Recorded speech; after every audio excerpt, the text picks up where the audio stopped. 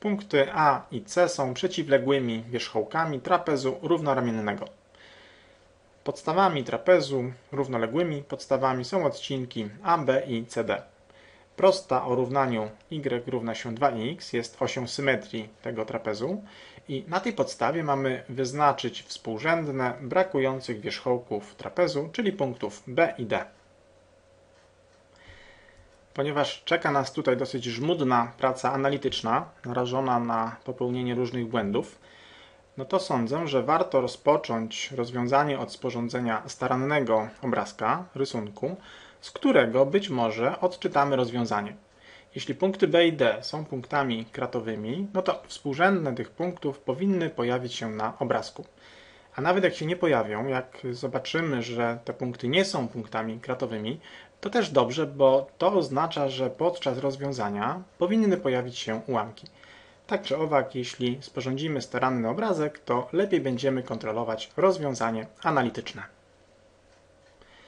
Ponieważ prosta k wznosi się na zasadzie jedna jednostka w prawo, dwie jednostki w górę, no to prosta AB, prostopadła do K, opada na zasadzie dwie jednostki w prawo, jedna jednostka w dół.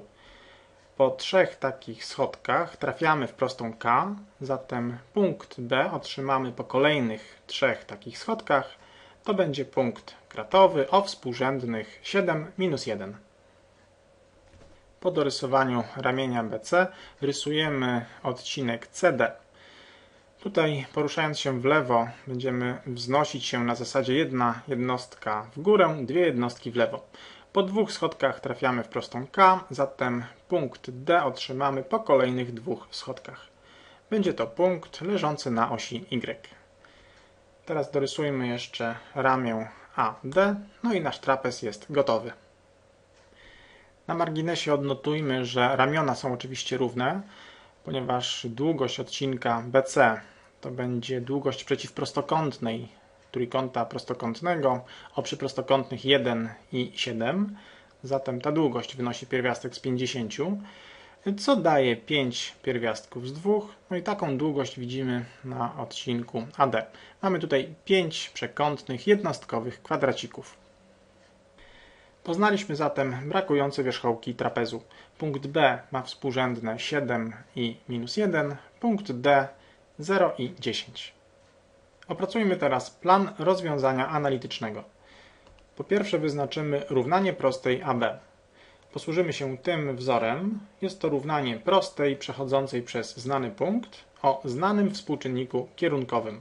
Ten współczynnik kierunkowy otrzymamy z tej zależności. Wystarczy odwrócić współczynnik kierunkowy prostej k i zmienić mu znak na przeciwny. W kolejnym kroku wyznaczymy współrzędne punktu M. Jest to punkt wspólny prostej AB i prostej K, zatem współrzędne tego punktu otrzymamy rozwiązując układ równań obu prostych. Po formalnym wyznaczeniu współrzędnych punktu M będziemy już dysponować wiedzą o lewym końcu odcinka i jego środku, zatem z tego wzoru wyznaczymy współrzędne prawego końca odcinka. Punkt D wyznaczymy w analogiczny sposób. Najpierw równanie prostej CD, następnie punkt N, wspólny dla prostej K i CD, z odpowiedniego układu równań. W ostatnim kroku wyznaczymy punkt D analogicznie jak to było z punktem B. Na koniec obliczymy długości podstaw trapezu oraz jego wysokość i obliczymy pole. To zaczynamy. Pójdzie dosyć szybko. Na początek współczynnik kierunkowy prostej AB, wiadomo, odwracamy tą dwójkę i zmieniamy znak na przeciwny. To nam daje takie równanie prostej AB. Podstawiłem w miejsce xa i ya współrzędne punktu A. Po uporządkowaniu dostaniemy takie równanie kierunkowe. No i teraz spinamy to równanie razem z równaniem prostej k klamrą, co daje układ równań. Porównajmy prawe strony, co natychmiast daje takie równanie, czyli mamy x równe 1.